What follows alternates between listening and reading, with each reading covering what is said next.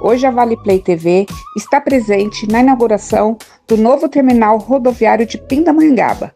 Contamos com a presença de várias autoridades, entre elas André do Prado, presidente da Lesp São Paulo, prefeito Dr. Isael, vice-prefeito Piorino, secretária de obras Marcela Franco e demais autoridades presentes. Vamos acompanhar? É falta de informação.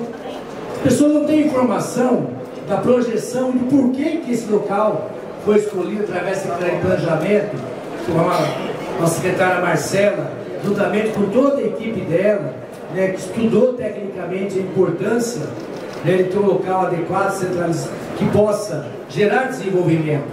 Ou seja, foram batalhas e batalhas e batalhas para a gente chegar nesse ponto. Não foi fácil. Como diz o ditado popular, as pessoas veem os, a que tomam, mas não vê os tombos que levam. Foi muito difícil, meus amigos. Eu posso dizer isso porque aqui eu me considero em família. E as pessoas estão entendendo o que eu estou falando. Observe a sua volta e vê a suntuosidade desse terminal. Se vocês não tiverem convencido, ao sair daqui, passe no terminal antigo e dê uma olhada o que nós nos submetíamos calado. A partir do dia 10 de janeiro, a rodoviária atual deixa de existir e entra em operação o novo terminal rodoviário, às margens da Dutra, um novo empreendimento que conta com um prédio de 1.860 metros quadrados, em uma área de 9.700 metros quadrados doada ao município.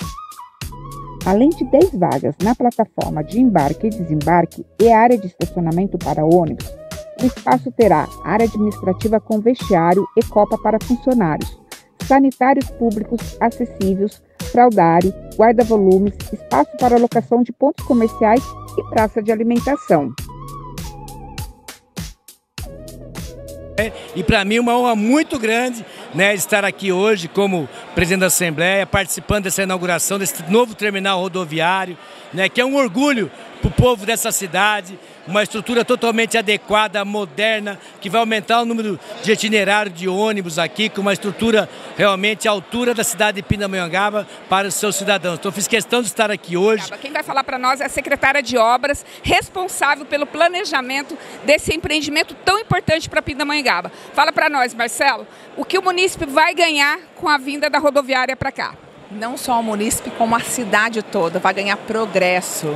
Gi, é tão gratificante concluir mais essa etapa, esse projeto que com certeza foi pensado com todas as formas, com todo carinho, com todo empenho para poder planejar de fato essa organização desse crescimento da cidade.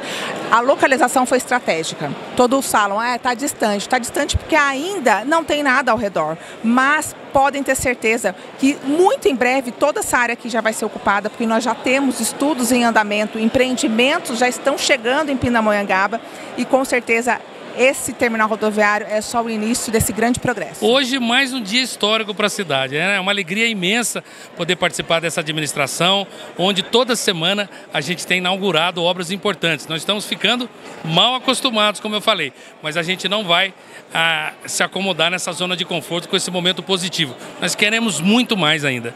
E hoje, inaugurando um importante espaço aqui, que é esse terminal rodoviário, uma obra que é um sonho antigo da população de Pindamonhangaba, necessária, até porque o nosso antigo terminal é de 1970, ficou muito pequeno para nós, ultrapassado, e eu acho que isso era uma afronta à dignidade das pessoas. É, além da humanização de é, toda a comunidade que nós temos aqui, é, é tecnologia, é, próximo ao presidente Dutra, é, a gente está falando que aqui pode ser um hub de novas indústrias ou empresas de ônibus para poder fazer a sua paragem. Haja visto tem espaço para estacionar ônibus, tem muito box, é, as baias, tem muitas baias, então passa a ser, e é, nós estamos no meio do vale, olha lá, então sul de Minas, sul Fluminense, né? E aí eu acho que aqui tem todos os ingredientes para a gente começar a ter mais empresas e aqui começar a transitar mais pessoas e conhecer a nossa cidade, que às vezes não conhece, não entra,